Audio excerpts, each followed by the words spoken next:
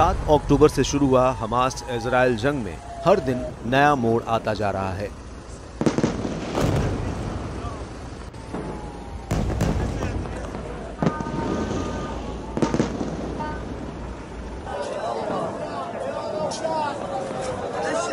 इस युद्ध में मिडिल ईस्ट का घातक आतंकी संगठन माने जाने वाला हिजबुल्ला भी कदम रख चुका है। हिजबुल्ला की जो ताकत है, उसका जो खूंखार इतिहास रहा है, उसे देखते हुए फ़िलहाल इसराइल की टेंशन ज़रूर बढ़ गई होगी। तो आइए जानते हैं कि हिजबुल्ला की सामरिक ताकत आखिर है कितनी। इस युद्ध में उसकी एंट्री से कितना असर पड़ने वाला है? और आखिरकार हिजबुल्ला अस्तित्व में आया तो आया कैसे? आधिकारिक रूप से तो हिजबुल्ला की स्थापना उन्नीस में हुई थी। लेकिन इसकी शुरुआत पहले से ही हो गई थी।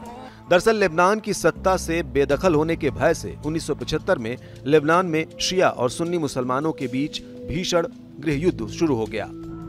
इस बीच मौका देखकर फिलिस्तीनी लड़ाके दक्षिणी लेबनान से इसराइल पर हमले करने लगे। जिसके बाद 1978 में जवाबी कार्रवाई करते हुए इसराइल ने लेबनान के कई हिस्सों पर कब्जा कर लिया। हिजबुल्ला 1982 में पहली बार अस्तित्व में आया। इसमें लेबनान के सताए हुए शिया लड़ाके भर्ती हुए और ईरान ने इन्हें इसराइल के खिलाफ इस्तेमाल करना शुरू कर दिया। इसके बाद उन्नीस में अपना घोषणा पत्र जारी करते हुए हिजबुल्ला खुलकर दुनिया के सामने आ गया।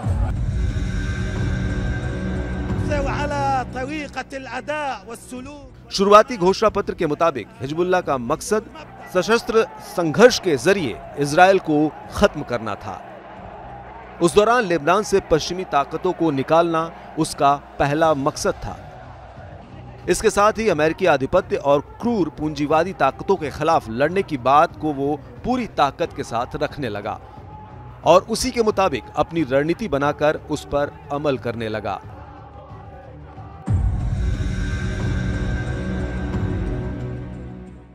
शुरुआती दौर में इस्लामिक गणराज्य से लगातार मिलने वाली आर्थिक मदद ने हिजबुल्ला को प्रमुखता और ताकत दिलाई।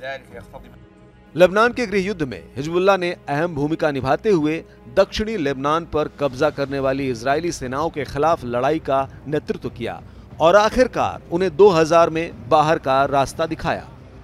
वैसे लेबनान में हिजबुल्लाह की भूमिका इसराइल के खिलाफ एक लड़ाके के तौर पर है लेकिन पश्चिमी दुनिया के अधिकांश देशों ने हिजबुल्लाह को एक आतंकवादी संगठन घोषित किया हुआ है। वर्तमान की बात करें तो इसराइली सेना के अनुसार हिजबुल्लाह के पास पैतालीस हज़ार लड़ाके हैं जिसमें से बीस हज़ार सक्रिय रहते हैं और पच्चीस हज़ार रिज़र्व में। हिजबुल्लाह के शस्त्रागार में एक लाख बीस हज़ार से एक लाख तीस हज़ार मिसाइलें हैं। इनमें कुछ लंबी दूरी की मिसाइलें भी शामिल हैं, जो पूरे इसराइल तक मार करने में सक्षम हैं। हिजबुल्लाह के पास एंटी टैंक मिसाइलें, दर्जनों drone anti ship missile anti aircraft missile और एयर डिफेंस सिस्टम भी मौजूद है। इस युद्ध में हमास भी इसराइल पर एक के बाद एक पाँच हज़ार रॉकेट्स दागकर अपनी ताकत का एहसास करा चुका है। वो भी इस तरह से कि इसराइल का आयरन डोम नाम का एयर डिफेंस सिस्टम इन हमलों को रोक नहीं पाया। ऐसे में हिजबुल्लाह की ताकत का जुड़ना इसराइल को और कमज़ोर करेगा। इजरायली डिफेंस फोर्सेस का कहना है कि हर साल हिजबुल्लाह को करीब 70 करोड़ डॉलर से ज़्यादा का फंड मिलता है।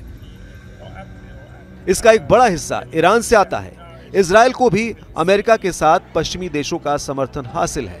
बावजूद इसके हिजबुल्लाह के पास किसी देश की सेना के बराबर की क्षमता है। हिजबुल्लाह के पास ऐसे रॉकेट्स हैं जो इसराइल के किसी भी हिस्से को टारगेट कर सकते हैं। ऐसे में अगर हमास और हिजबुल्ला दोनों एकजुट होकर अपनी पूरी ताकत के साथ इसराइल पर हमला करते हैं तो इसराइल के लिए इन पर पार पाना आसान नहीं होगा।